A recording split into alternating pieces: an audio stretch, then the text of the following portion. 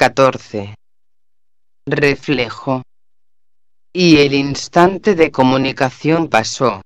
Mi madre murió, y mi padre, debido a este golpe del destino, se convirtió en un anciano lloroso y enfermizo. Su espíritu cambió de tal modo que asustaba a todos. El hecho de que mi madre estuviera muerta se le escapaba cada vez más. Con el corazón lleno de temor yo observaba cómo, de vez en cuando, con el pie enfermo, salía de debajo del ciprés y me hacía un gesto a través de la ventana, con una sonrisa dulce y radiante. Apresúrate, mi querido Francesco, trae las llaves. Tu madre pronto volverá de la iglesia. Ya voy, padre. Habría querido gritar de desesperación a la vista de aquella alegría radiante que al mismo tiempo era horripilante y digna de compasión. Mi padre se impacientaba. Tráeme de una vez las llaves, si no tu madre no podrá entrar. Tan pronto como le ofrecía las llaves que me había pedido, alargaba codicioso la mano, se acercaba cojeando al portón, metía la llave en la cerradura y la hacía girar, abría el portón de par en par y esperaba. A veces miraba con una sonrisa expectante hacia la calle, con una sonrisa que revelaba la alegría que le producía aquel momento feliz que se acercaba, luego salía a la calle. Angustiado yo le seguía. Entonces me sonreía, dándome ánimos, aunque su sonrisa ya revelaba una creciente inseguridad. Enseguida va a doblar la esquina, decía y asentía sin sentido, con la cabeza temblorosa. Allí estábamos de pie, en una espera plumbea y sin esperanza, mientras que él, debido a su pie enfermo y a su creciente desaliento, apoyaba su peso cada vez más en mí. No me atrevía a hablarle o a llamarlo, ya que esos ataques de pérdida de memoria siempre conducían al mismo fin. En su rostro se apagaba la sencilla y amable sonrisa, feliz infantil, y se ensombrecía con una preocupación racional y antiquísima. Vamos dentro, decía en voz baja. Pobre hijo mío, se apoyaba sin fuerzas en mí, con todo su peso, y dejaba que lo condujera al jardín, para sentarse debajo del ciprés. María Dora, una religiosa pedante y solterona, administraba nuestra casa. Era una tía de mi padre, una hermana de su padre, una auténtica figura secundaria de esta vida. Ella era quien cuidaba a los enfermos de la familia hasta que se morían, quien atendía a los recién nacidos, y nunca dejaba de quejarse de su ingratitud cuando los niños emprendían el vuelo, porque se cerraban ante ella y rechazaban sus intromisiones en sus pequeños asuntos. Era buena y se sacrificaba, pero por extraño que parezca, la mayoría de las veces solo cosechaba desabrimientos o tratos ásperos y desapacibles, y se convertía en una carga para aquellos a los que cubría con sus desvelos. Tenía que tener siempre a alguien cerca para mimarlo, para obligarlo a comer, a beber y a descansar, y esto siempre en el momento en que el interesado no tenía la menor gana de hacerlo. Su desorientado instinto la engañaba siempre y la hacía aparecer en escena en el momento más inoportuno, sin quererlo y también sin sospecharlo. Creo que formaba parte de su secreta necesidad, de su satisfacción y de sus pasiones, derramar lágrimas agridulces, que la atormentaban a ella misma, sobre las diversas indignidades con las que se le agradecían sus buenas obras, que no toleraban la menor contradicción. Mi padre y yo le vinimos muy bien a aquella mujerona pesarosa, encargada oficial del luto y la pena arrullando, aleteando y con extraordinario celo, nos amparó bajo sus alas, a nosotros dos, aquel viejo desamparado y demente, y al niño débil y sin madre.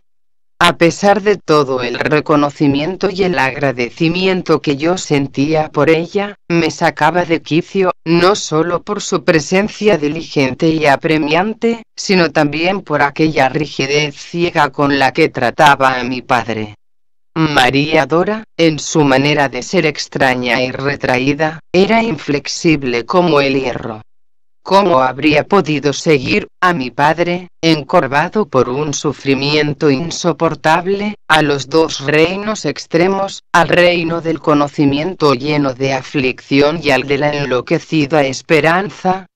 ¿Cómo habría podido percibir sus nebulosas luchas interiores e inconscientes? Le daba de comer y de beber, lo ayudaba a vestirse, lo bañaba y lo mimaba, pero en cuanto se daba cuenta de que erraba o equivocaba por el tiempo, en cuanto se iluminaba el breve y falso brillo de la esperanza en su rostro, lo hacía callar con la compasión y la paciencia de un ángel. Pero, Giuseppe, sabes muy bien que Marieta está muerta, que murió de parto, que no volverá nunca más de la iglesia. Tranquilízate, tesoro. Nunca volverá.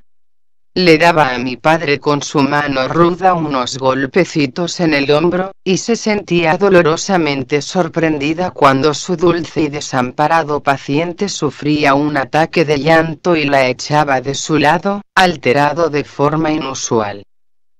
Vete, desaparece, mujer horrorosa. No la dejas reunirse conmigo, eres tú quien la ha encerrado fuera de nuestra casa. Está fuera, ante la puerta, tiene frío y está cansada. Tú le has quitado la llave, la cama y sus armarios. Socorro. Marieta, Marieta, mi único bien. Mi padre solo sobrevivió a la muerte de mi madre un año.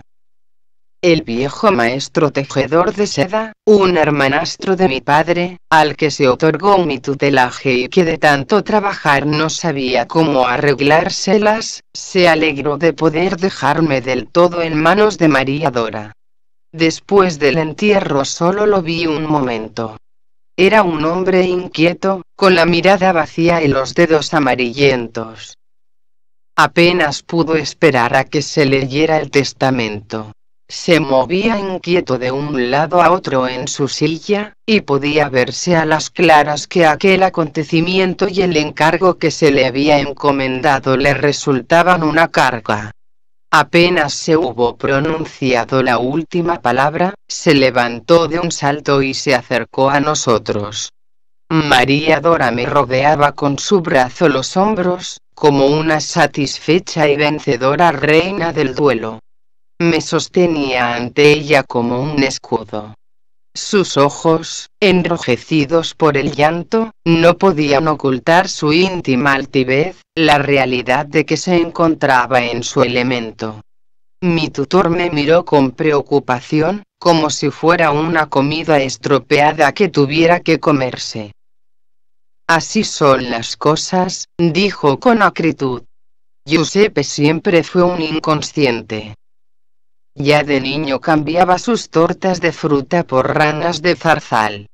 Y encima a sus años, tuvo que casarse, ahora está este muchacho, por eso no hace falta que os preocupéis. Mirad de que reciba aquello a lo que tiene derecho, todo lo demás es asunto mío le replicó María Dora con rapidez, y adoptó un aire tan ofendido y con tal violencia que mi tutor se echó atrás y empezó a bizquear. Bien, por supuesto. De hecho a mí debería darme igual. Y así quedó la cosa.